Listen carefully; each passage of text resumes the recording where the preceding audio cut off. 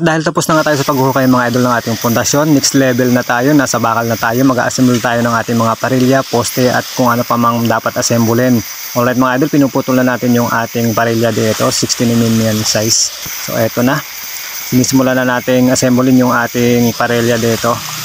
Alright, panoorin lang natin to at ito na nga mga idol, tinatali ko na isa-isa yung ating parilya para makapaglagay na tayo ng ating pundasyon. Alright, ito na, bilis Alright, and after that mga idol, tapos na natin yung ating parilya. Punta na naman tayo sa ating poste. Nakapag-bend na rin tayo dito ng ating stirrups. Ayan, ina-assemble na rin natin dito mga idol. Sabay sinusukat na rin natin yung ating uh, dapat mas uh, maiksi lang yung sukat nito para mas matibay mga idol. Alright, sinisiguro na natin yung bawat sukat dito. Eto na. Alright, sinimulan na natin talian to mga idol para mabuo na natin yung ating uh, poste dito. Alright, ang bilis ng pagtali natin dito.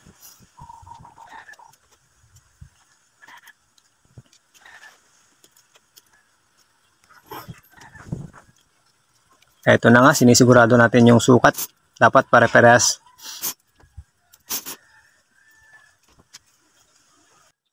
Malapit na tayo matapos dito mga idol. Nasa dulo na tayo. Ah, at ito na nga mga idol, uh, marami na tayong natapos dito.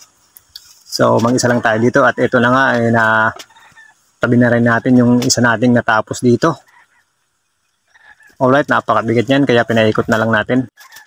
At dahil tapos na nga tayo mag-assemble ng ating mga parelya at ng mga poste mga idol, heto ililinis na natin yung ating butas na pinakapundasyon mga idol. Ililimas na natin yung tubig para mabawasan yung tubig para ma-install na natin yung mga bato at malagay na rin natin yung ating parelya dito at makakabit na rin natin yung ating poste. Alright medyo marami yung tubig dito kasi nga ay mababaw yung tubig dito. Alright medyo may natira pang tubig pero okay lang yan. I-install na natin yung mga bato dito mga idol para malagay na natin yung ating parelya. Alright may mga palaka pa tayong nakuha. Kawawa naman. At eto na punuin natin ng mga bato-bato ito para umangat yung ating parelya dito. Alright kailangan maraming bato Okay, at dapat pantay rin ito mga idol. At ito na nga, eh, na natin yung ating parelya. Dapat nakaangat siya sa lupa para makover siya ng semento pag nilagyan natin ng semento. Alright, pantay na natin yung ating parelya dito. Okay. Dun sa mga gustong matuto, mga ganito, napakasimpleng uh, idea lang to mga idol. Kahit maguhan, kahit uh, sino pwedeng gawin ito This time naman dalawa kami dito idol kasi nga uh, medyo mabigat yung bakal. Kaya eto na nga na-install na nga natin yung ano napakaganda. Ang kulang na lang yan dito mga idol ay yung uh, lagay ng semento. Alright. For today's video mga idol, panibagong tips kung paano i-install yung mga parelya at ilagay yung mga poste natin dito sa ating pundasyon mga idol. Unang-una, lagyan natin ng mga bato ito para umangat yung parelya sa lupa at mag, hindi magkaroon ng corrosion mga idol. At unang-una, dapat malinis din yung mga bato dito para kapit na kapit yung semento mga idol. At ito na nga, tapos na ating install yung mga parelya. Magsisimula na tayo maghalo dito mga idol para mabuhusan na rin natin yung ating pundasyon at ma makapunta na rin tayo sa next level to mga idol. O kailangan haluin to mga idol ng maayos. Kailangan tama lang yung tubig dito. At saka kailangan yung matibay yung timplada dito.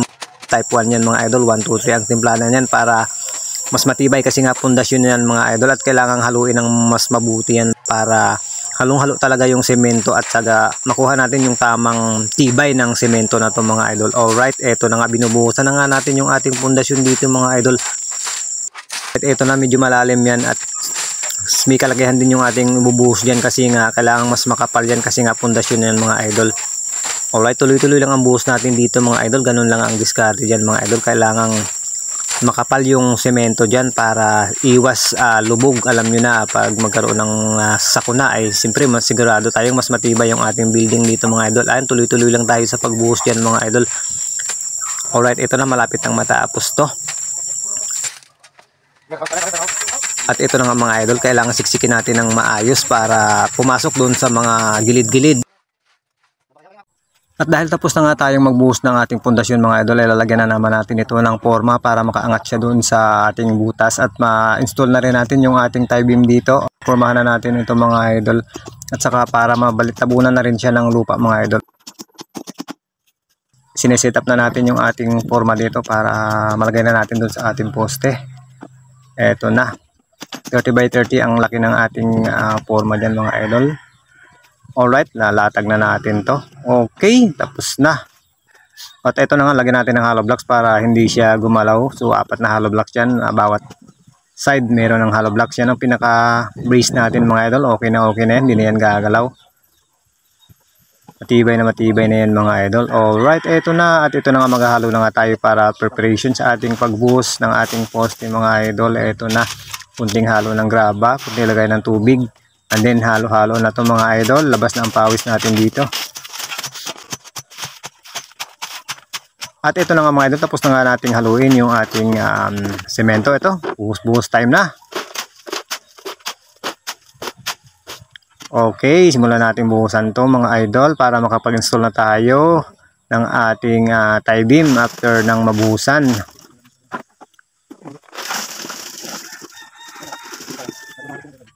Okay, lagyan natin ng uh, salo para hindi matapon yung ating halo. So pala lang yung ginamit natin at saka kunting siksik muna mga idol para hindi siya mag panutsa sa loob. Kailangan siksik yung ating halo dyan. Kailangan alug-alugin muna, siksikin. Alright, eto na. Malapit nang mapuno mga idol.